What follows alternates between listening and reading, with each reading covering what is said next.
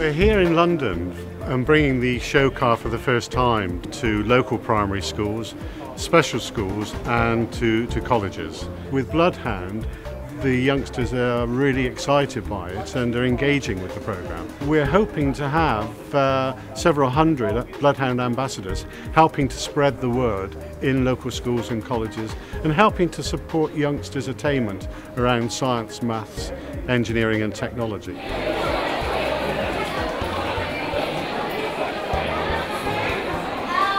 So, okay, the challenge then is to go at 1,000 miles an hour and to break the world land speed record. Now, at the moment, that record stands at 763 miles an hour, which is pretty quick, right? But 1,000 miles an hour is a whole lot more. It's been going really well, actually. We've got great response from all the schools that have come in, and a huge range of kids. We've had kids from special schools, secondaries, primaries, and all really getting engaged in science that we're talking about. Can you see how the smoke is almost sort of clinging to the surface of the car now?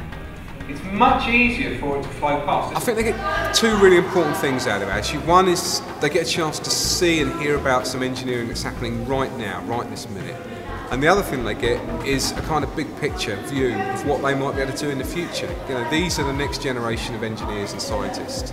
So if we can inspire them, kind of grab their enthusiasm, their curiosity, they'll go away wanting to take it further. I think when you go down to that lorry and you see the show car there, that's just mind blowing.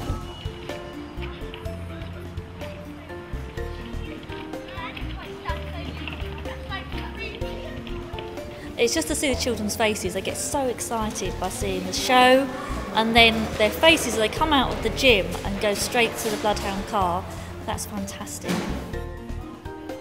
I find it very interesting and I think the maths and science behind it is very inspiring. We're trying to get youngsters back into engineering because they're seeing a lot of manufacturing companies that are saying we're running on short time, we're cutting production. It would be an amazing opportunity to actually work on the Bloodhound. I think that it might inspire me to go into a science or mathematics career when I'm older. I want to drive it. I want to as well. Um, the favourite thing about this event was coming to look at the car and the videos and the experiments we did.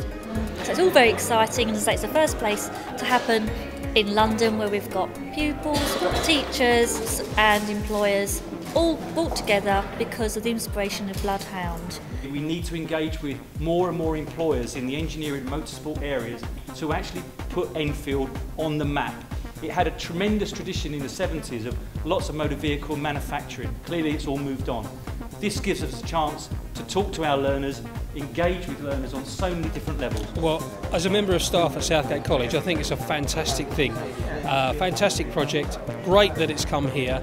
There's been so much student interest, so many spin-offs as a respect of, you know, the subject area that's covered. Um, students have, have really been fired up and motivated to continue with their subjects that they're doing here as a direct result of seeing the Bloodhound Roadshow today. I've, I've had students ask um, potentially offbeat questions, but have been directly related to um, you know the technology involved with um, the car. Uh, which relates directly to the course that they're studying, which is motor vehicle courses. It's, it's, very important to try and involve younger people, students, work experience, um, just because kids sometimes have the best ideas, so you can learn a lot from them. Um, and just important to have a bit of corporate social sort of aspect to the business rather than just thinking about it as a money making uh, enterprise all the time. I think it's really important to get stuff back.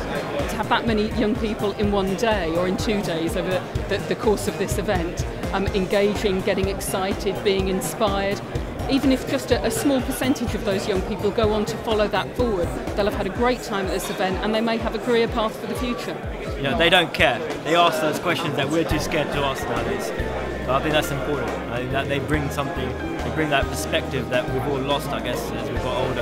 If we can inspire people to get involved in terms of partnership engagement, working with our employers, ensuring that we have a really cohesive approach to working with young people and, and sorting a future out for those young people, particularly in our technological industries, then we're on to a winner.